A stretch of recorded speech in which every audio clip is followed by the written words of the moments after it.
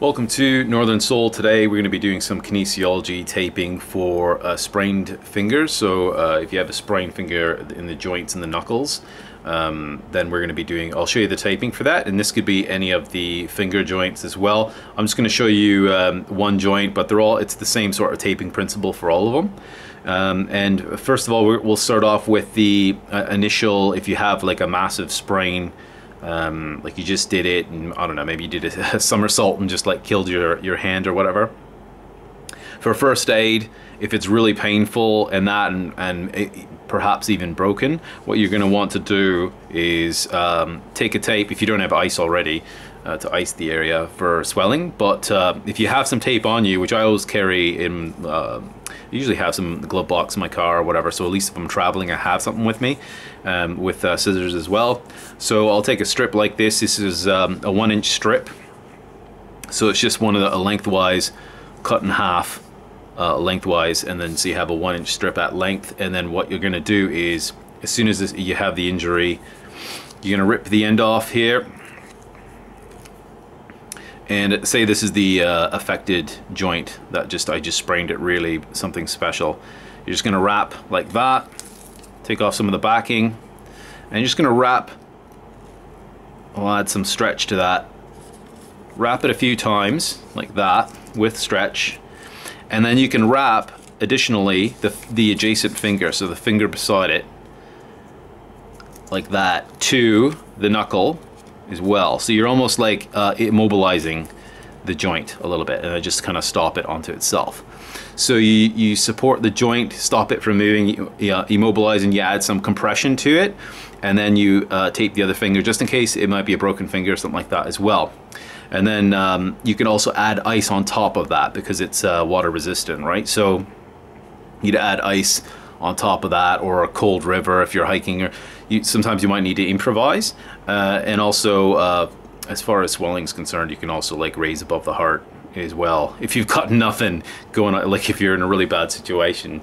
Um, the other thing as well is obviously go to um, a hospital or a casualty and see uh, uh, get some x-rays done or whatever and get that diagnosed. Now that's for that. Now uh, a number of days later so let's just say two or three days later when it's not acute anymore and the swelling's gone down a bit.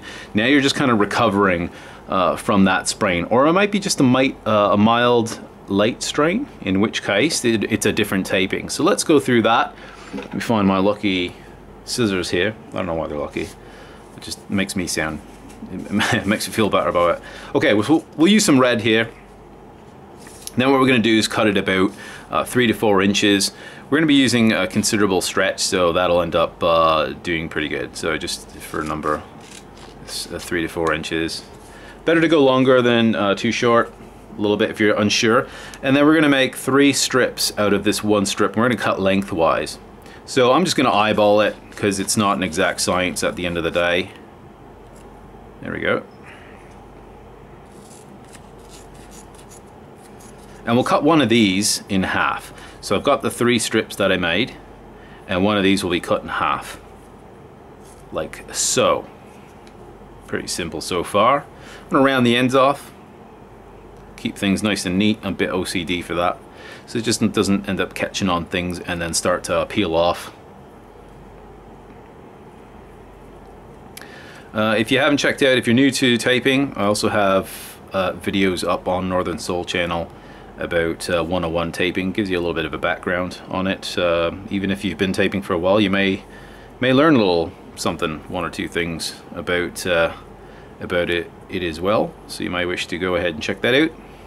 Might be a bit dry so and it's very long as well as like an hour long so but uh, I guess I can go drone on and on about this stuff.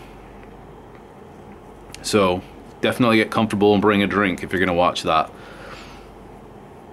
as well as I've got um, uh, videos on uh, comparison tapes if you're not familiar with brands and stuff and is there a difference? Uh, check that out as well. Uh, so here we are we got our two tapes two of those tapes and then the two smaller tapes. Just like that. From one tape. So try to be as efficient as possible. So let's let's start with the first one. So let's just say this knuckle here is the um, the issue. So what I'm going to do is break off on the end like that take the backing off. I'm just going to push this backing. I don't want to really touch the adhesive at all. Boo! Because, okay. And then what we're going to do uh, in this part is we're going to start from underneath a little bit. So this is the flexor side, just uh, in front of the joint. So this is the joint that's hurt. I'm to attach right about there. Then I'm going to give significant stretch. So we're talking like 75% stretch. So I'm to give that a bit of a, I'm to hold that with my thumb there because it happens to be right there. And I'm going to give it a good pull across, over the knuckle, and then it's going to stop on the other side, down here. So it's wrapped like that. We're to get there our second short tape, and we're going to do the same thing, except on the opposite side. Just going to pull that back a little bit. Pull one end off so underneath, like, it'll be kind of like on, on the side or just touching underneath. A little bit like that. Try not to tape, uh, get too much of a base tape on there because you need to do a considerable stretch. So we don't want to kind of run short. This is why it's better to go with a little bit longer tape than the shorter. So I'm going to give it the considerable stretch right across the knuckle joint and then park it over here with zero stretch on the ends. So that's what it looks like so far on there. Okay. Now we're going to take one of our long tapes here and we're going to start from the top aspect of it and wrap around and then and then meet up again. So cross like that with considerable stretch and then it'll stop over here. So I almost want to do, um, let me do a contrasting tape just so you can see it better. Um, okay, so we'll do about four inch, like I said,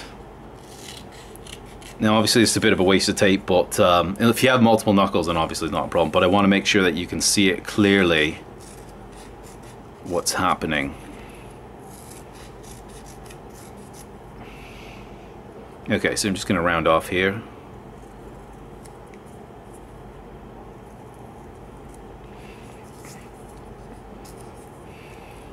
I love how I'm using my hurt finger, but aren't we like that? Okay, so I'm going to take off the end on there in the backing and, and push the backing off like that so I can grab it easily without touching the adhesive. And we're just going to park that right on the top here. So almost like a cross. This one's going underneath, so you're going to have the X tape, but it's going to appear underneath. So this one's going to take care of, the first taping was take care of the top of the knuckle, and now we're going to take care of the bottom. So considerable stretch, 75% or so. I'm going to roll under, right underneath the knuckle there, that joint. I'm gonna roll over the front here like this, come across, and then you're gonna stop the tape with no stretch on the end like that. So it looks a bit sideways, but the important part is I got that underneath there. So there we go. I could have put it a little bit more straight so you can always curve it around like that and then back out. So mine's a little bit wonky. Actually, you know what? Let me do it again correctly. So I only have to do this video once and every if you're OCD like me for, for taping. Let's do it. If, you're gonna bother doing it right, I mean at all, you might as well just do it right. Okay, so that, that would have been acceptable. That would have been fine. It would have worked, but to do it perfect, if you want to get a 10 out of 10, you want to be a student here on taping, this is how you do it. So I'm just going to kick that off. And I happen to cut extra tape anyway, so that's my excuse there. All right, so let's try this again. Right on the top there, across, like that. Pull some of the backing off, considerable stretch, 75%. I'm gonna go like that. Then I'm gonna curve around under the knuckle. And then across the front. No stretch on the ends. So that's a lot neater you can see that looks a lot nicer. And all I did was come across, go straight across the bottom of the knuckle instead of like doing the curve and then back across. So it's like that. Now you do have uh, an extra strip left. What you can do with that you'll actually have um, yeah okay there we go. Um, so with the extra strip because that one this one would have been used over here but we're going to actually seal off the end so that it stops it from fraying so across here, we'll just add and I'll do a considerable stretch here as well just so I can make sure I get all the way around. Stop onto itself like that. And also if you have an extra uh, for the front so here's one here. Of course you can have fun with colors. You can do this on purpose if you wish with the contrasting colors and stuff like that so I'm just going to uh, pull the backing off there. Have fun with colors why not? And across the front like that. This really will stop because you can have this up to like a week right? So seven days or so just have it on there. It's going to wrap around itself like that. So this will really stop things from catching onto the tape and trying to pull off because these are diagonally right so that's what that can look like you can put as many colors as you want but that is the taping for knuckle I can yeah it's very difficult to move it now you, you have some movement if you need to, but it really does stabilize that. So it's one of those things where you get compression, not too much that there's no circulation, but uh, you get compression and you also get uh, immobility as well. Well, to a degree, not to the much, uh, not to a point where um, it'll be a detriment in the future. So just enough for that specific injury. Watch out if it's too tight. If you feel like uh, throbbing in the finger and stuff, it might be too tight. You might need to retape it. So you might want to back off maybe from 75% stretch to um, 50 but you'll have to adjust it depending on your needs. Also, if your finger starts to go numb, that's probably bad, bad news all day. So I'm gonna just check my uh, circulation. This is how we usually check circulation for finger, make sure that there is blood flow going in there. Uh, some of you with uh, poor circulation, this it might be uh, business as usual uh, for you, but let's check this out. Okay, so I'm just gonna go press on the finger. You'll see it's red pad, and then it goes white.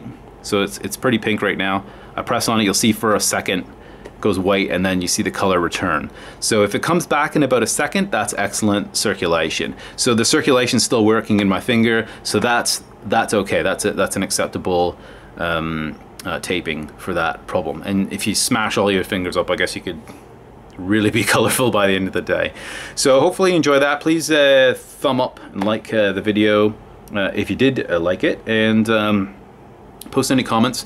Uh, all comments are welcome, especially if you want, if there's a particular taping or an issue that you have, put it in the comments below. I'll try to respond to them the best I can or make a video um, about that, whatever the taping is, if it's if I haven't had it on my, um, if it's not uh, on my uh, channel already. So thanks so much for watching. Uh, think about subscribing and I'll see you on the next one.